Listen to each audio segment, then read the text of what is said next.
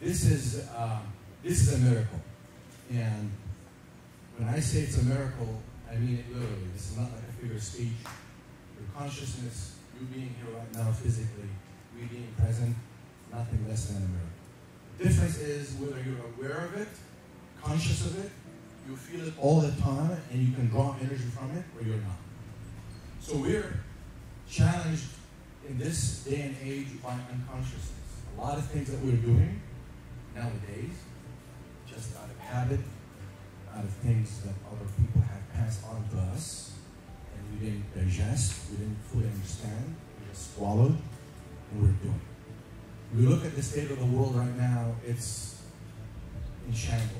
I mean, lack of trust, uh, lack of faith, wars on the horizon, economy. But the biggest thing I want you to pay attention to is the lack of trust that we all, or most of us, experience and feel in our society. And uh, I'm here just to remind you, I'm not here to teach you, I'm not here to tell you anything that you don't know in your spirit, your origin, your divine soul that is ancient and eternal, that preceded anything that is happening right now in this world of physicality. Our job here today for me, if there's one thing you're going to remember, is faith and trust comes from you being united with God constantly. There's no separation. It's not about church. It's not about religion. It's not about anything. This is a direct relationship between you, your brain, your heart, and the divine. And this is an experience. God is an experience. God is not knowledge. God is not theology. God is not a belief system. God is an experience. So think of it like a loving relationship. You could read all the books you want to read about love and falling in love. And you could even watch movies about that, but that does not get even close to actually falling in love. So the question to all of you and the challenge is, what if, uh, what, what if you're actually capable and equipped from birth to be united constantly with the divine power that we call God? I want you just to contemplate that for a little bit.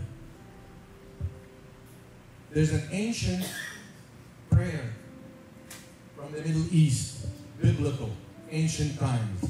Most likely, Jesus was aware of it. All prophets were aware of it. And by the way, any prophet that you read about in the Bible, in the Torah, and all the holy books, every single, every single one of them was connected to the divine power that I'm talking about. All the time. And they brought it to earth.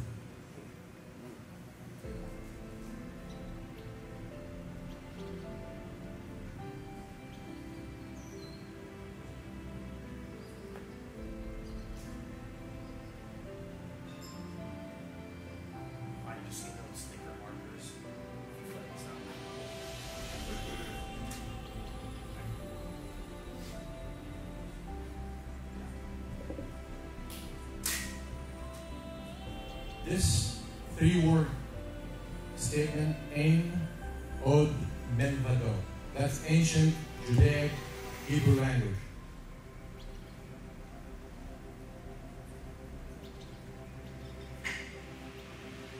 That says there's nothing but God, right? That's this is what it means. There is nothing but God. Does anybody have any idea what this means? Like, feel free right now. There is nothing but God. That means all is all of this is God. Everything you're experiencing is God. Everything is created by God. There's no separation, nothing. It's one consciousness. One, one, one. No division, no multiplicity, none. All God. If you the world, we're the richest country in the world, yet you walk around and most people are not wealthy, they're not even rich, they're coming across as struggling, and they're not representing us. Why? Why can it not get you? Maybe we're doing it wrong. Maybe a lot of things that would be odd need to be reconsidered.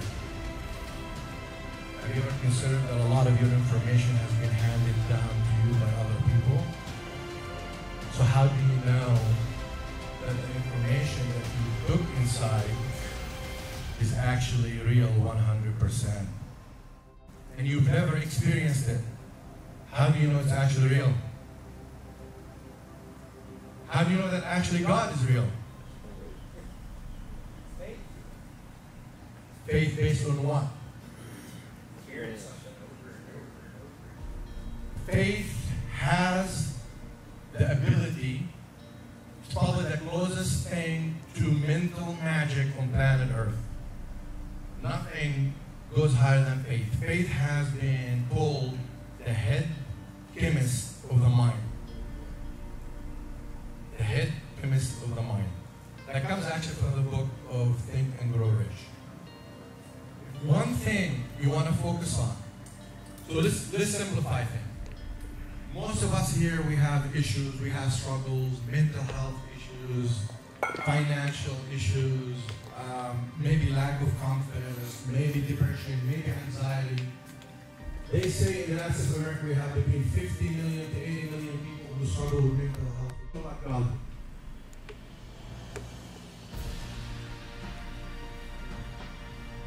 Nobody. Did he have a book? To tell him how to pray, or how to talk, or how to connect, and what to experience, and what to feel? No. He had a direct relationship with God.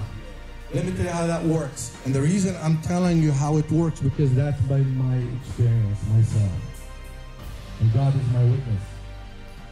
Already inside. He's already outside. But he's neither inside or outside. He's everywhere.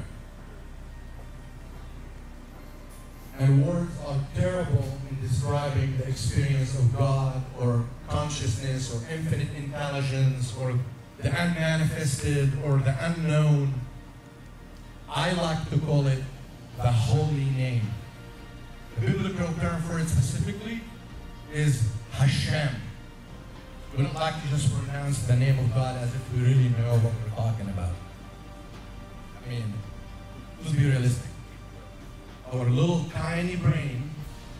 spark that came from the divine, we're all one by the way. There's nothing that I know that you don't know already in your spirit. Nothing. My job here, all this time training and praying, is to remind you. So this is a matter of you remembering your origin. Your origin is divine. That I can tell you. Divine origin. Divine origin. You come from royalty.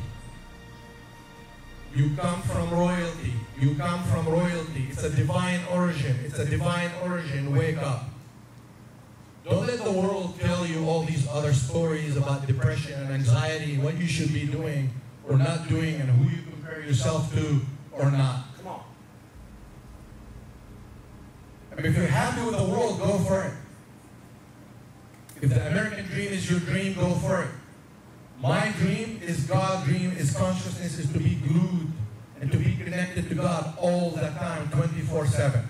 It's a level of insanity. I tell you what, there's no higher sobriety and consciousness than that. None. It's the only game in town that I know.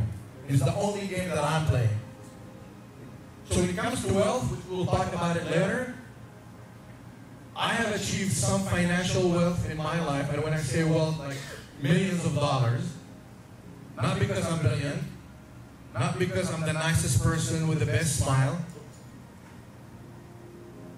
It's mainly because of the will of God and dwelling in that state of mind and letting go of me being clingy, of me being addicted to the world, addicted to the physical form. It's all the stimulation. It's me getting away from that with the help of God to disconnect, even though I'm still part of it. I want to help. I want to play the game, but I'm not in love with the game. I'm not attached. That's the key word. Not to be attached to anything physical. Zero, including your body. Including your body. Because guess what? It's all going to be left behind. None. what, what, what are you going to do? I mean, if you're worth $10 million, or your net worth is $10, and the two people died today, So we're all aware of that little statement. Yet somehow your mind, when you step out of this place, you forget and you go back into the matrix. You get busy, you do your job, then everybody start talking and repeating the same exact thing. That's what we call herd mentality in psychology. Herd mentality. That meaning whoever controls the media or leadership, whatever they're talking about, that everybody else starts talking about. Why don't you do your own homework? Why don't you do your own homework at home when nobody's watching you? That's school. School is an institution. At home, do you study? Do you read? Do you pray? You say, I believe in God, and let's say you spend five minutes with God. Do you really truly believe in God? Do you really know God? Let's be logical and realistic. If you say you love your wife and you spend five minutes with her per week, do you really love your wife? You might think you do. It's an illusion. It's a delusion. There are a lot of delusional beliefs out there. So you have to get real with yourself, right? You have to get real with yourself about your beliefs. You have to get real with yourself about your body. You have to get real with yourself about your finance. You have to get real about everything with yourself. And you're the only one who can make that decision. You have to have that desire. You have one shot at it, so to speak. We're here. I mean, what else? What other more important things we really need to be doing? Well, if you can't figure out the meaning for your own life, the purpose, if you can't have energy and vitality most days than not, when you're naturally, oh, we need the world to sustain our energy. Hence all these mental health issues in our society, in our country, in the world. This is a human problem. It's not an American problem. It's not a Chinese problem. It's a human problem. And people are waking up.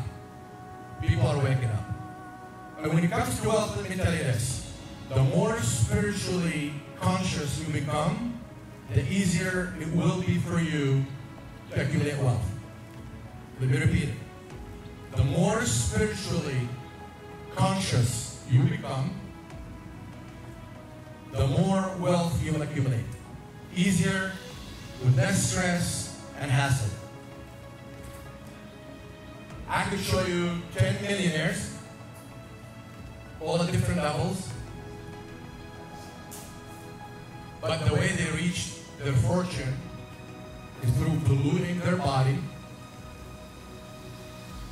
in a world for the sake of hitting their first $1 million.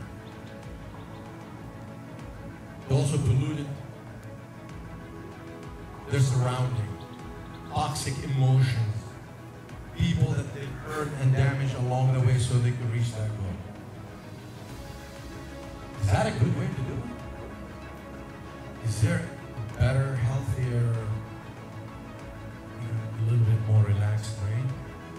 And I'm a pretty intense guy. I mean, I step out of bed ready to devour. If I was able to train myself to become conscious, let me tell you this. All of you can do it. For sure. It's it's, it's a choice. It's a choice. It's a choice. And then you enjoy the ride. Then you experience more things. The soul, your soul is on this planet to expand, to grow, to experience more, to experience itself and to experience the divine origin of itself. So a lot of us, what we call in uh, sacred texts. Sleepwalking. That's why uh, once I really realized that and I experienced that, my anger dissipated. I used to be really angry against the world, atrocities, wars, you name it. I was born in Nazareth, Holy Land,